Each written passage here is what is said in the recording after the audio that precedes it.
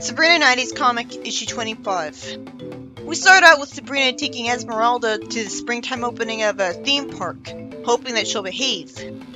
Oh, it's by Mike Gallagher, awesome. Finally, I thought every issue would be by him. Esmeralda's disappointed when she's told in a whisper not to do magic, when she should know that by behave, that's always part of what Sabrina meant.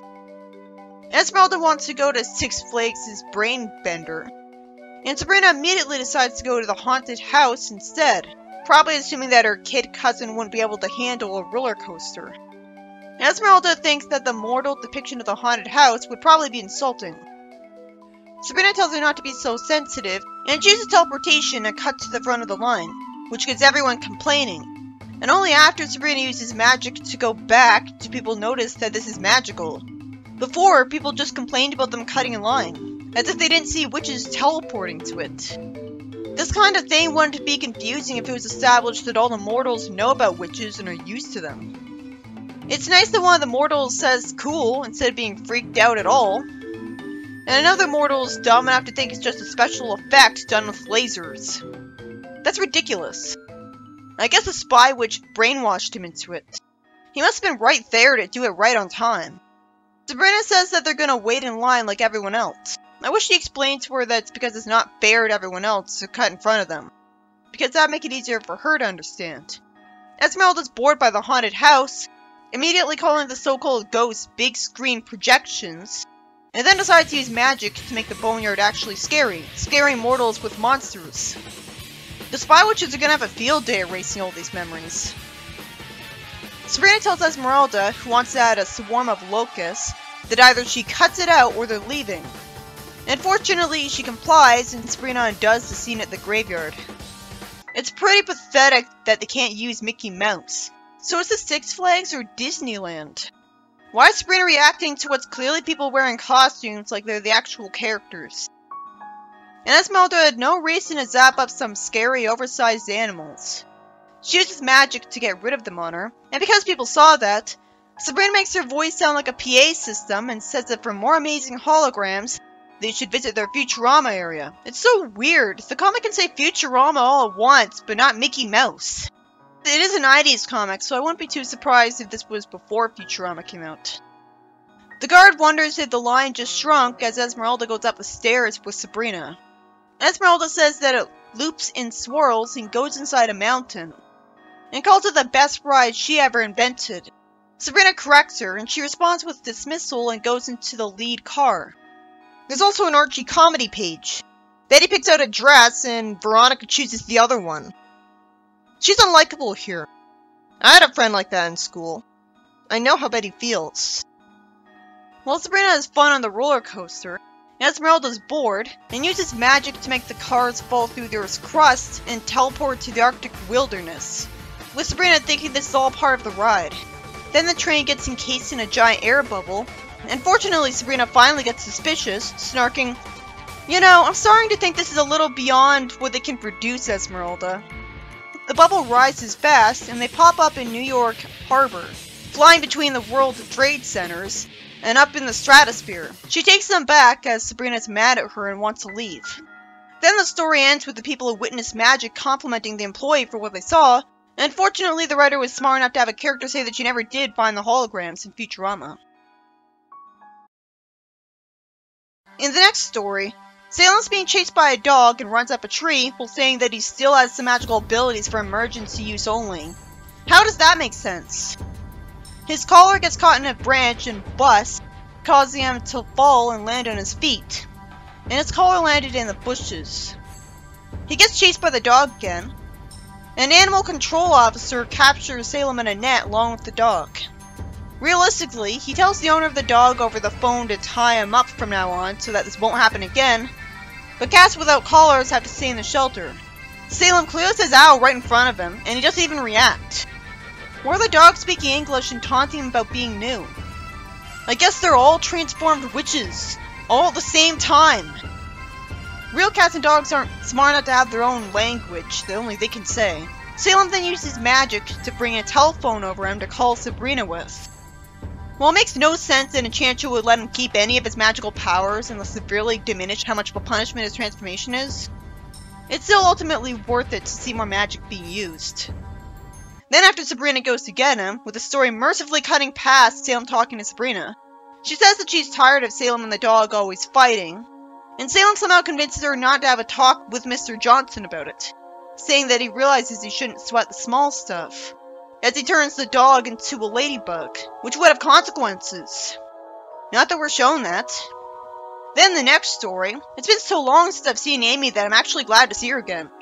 She has a really generic design, looking just like any other teenage girl. But I kind of like that because at least it means that she's being treated like she doesn't really matter that much.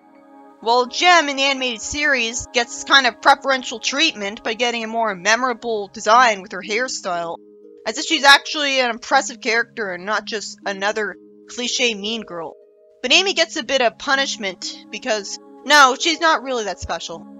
She asks Sabrina if she's training for an eventual career as a house painter, which was apparently supposed to be a mean joke. Sabrina says that Amy knows she's finishing the decorations for tonight's magical dinner. Amy says that she doesn't know why Sabrina was put in charge. And Sabrina says that her taking hours to do this is Amy and her friends' fault for not helping out. Then Amy gets startled by what's actually a Harvey wearing a medieval outfit, not a person from the medieval ages that Sabrina summoned. That would have been less confusing if it was a live action show. Harvey, despite normally being a nice guy, doesn't apologize to Amy for startling her for some reason, when usually he's too nice to her, and instead says that he'll be narrating the evening's festivities. Amy says there will be laughing stocks when the magical dinner flops. Harvey stands up for Sabrina, saying that she's worked hard on the project, and Sabrina accuses Amy of being jealous out of desperation.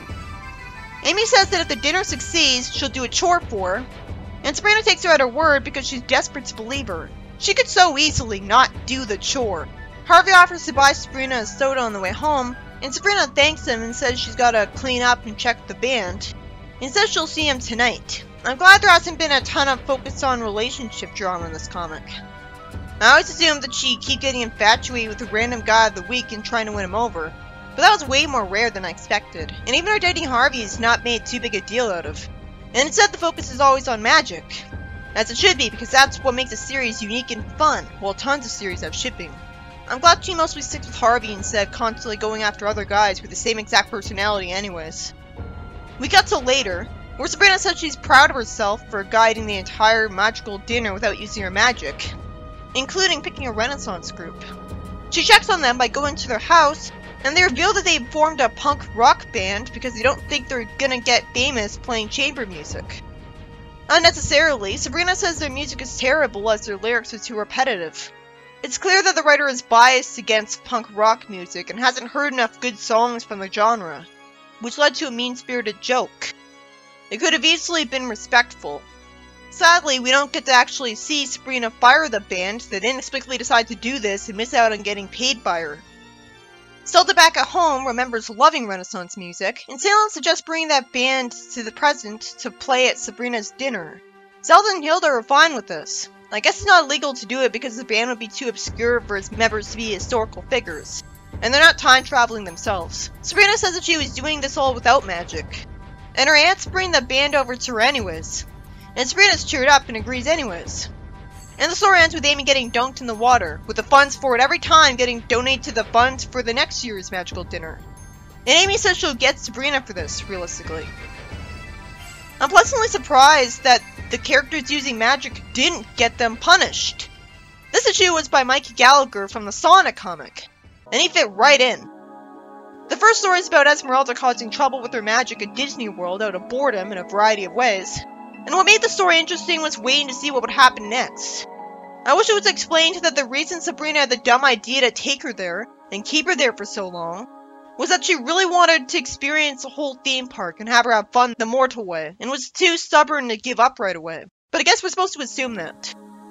The second story was about Salem losing his collar to a tree branch and getting captured by animal control, because once again he was inexplicably out of the house, just suddenly reveal he still has the magical power of telekinesis, so he brings a phone to him to call Sabrina.